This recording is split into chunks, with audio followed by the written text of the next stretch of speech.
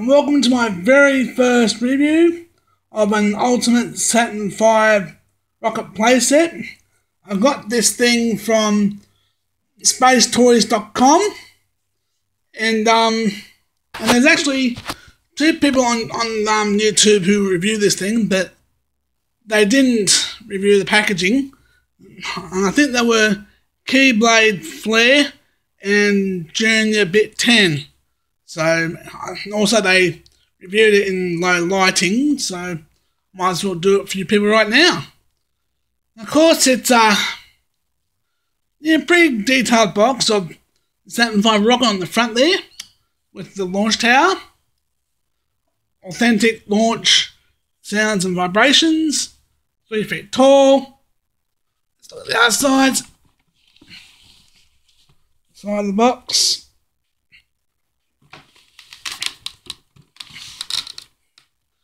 Back of the box. Splits into eight pieces. And also on the front, I have a little try me hole. And also on the front, there's a bit of a flap you can open.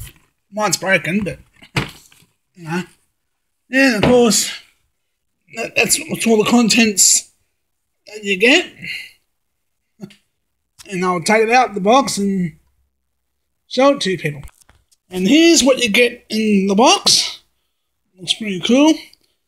And unfortunately, you have to put these three things on on your on yourself.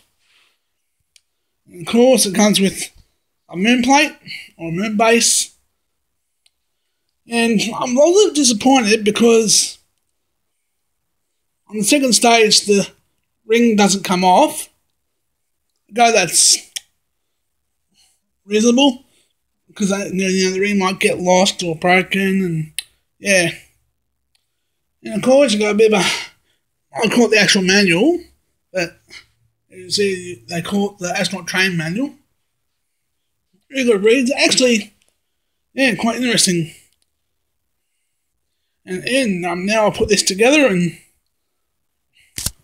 see. And here we are.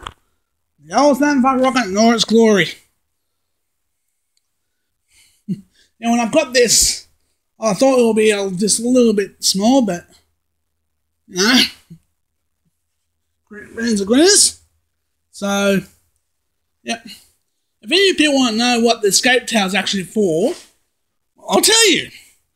Because if there was anything wrong with any of the Saturn V launches, the escape tower would come off and separate from the whoops, and would separate from the actual rocket itself, detach,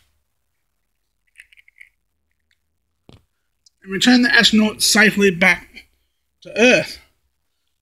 Well, yeah, it's like there. And and down here, there's a button. What does the button do? Well, I'll show you.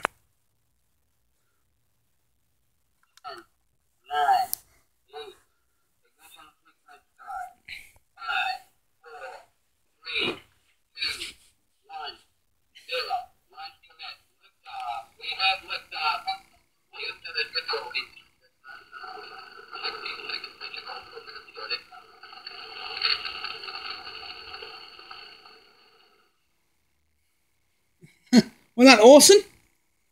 Now let's pretend the rockets just took off from the Earth at 2 minutes and 25 seconds. The first stage, which is this, this will run out of fuel and then disconnect and fall safely back to Earth.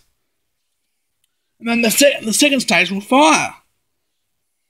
And this ring right here from there, there will come off and that will well, these blade rockets. And at three and a half minutes, the won't, won't be coming off.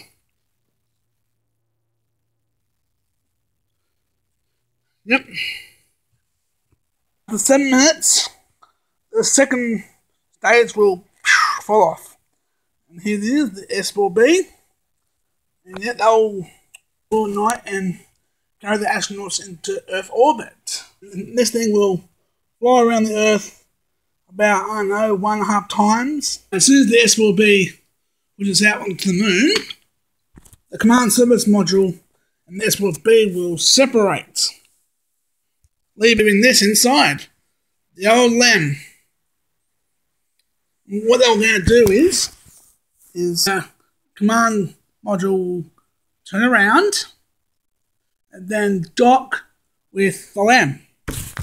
And then astronauts will pull the LEM out, out of the SLB and they'll be on their way to the moon.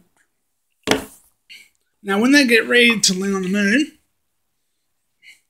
two astronauts will come into command service module. Sorry, a LEM. A LEM will detach, like so, and its legs will come out, like so. Sorry about this, guys, but. And they'll just fly around the moon, down to the moon. Land.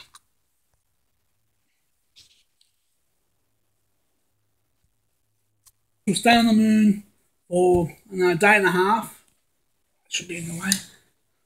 And then the and the ascent stage will separate on the one half and then fly back to the command service module. And of course they'll dock like that. When everything's prepared, they'll jettison this and fly back to Earth. Oh, that's the um, antenna they use to communicate with Earth. When they get very, very close to Earth, they jettison the capsule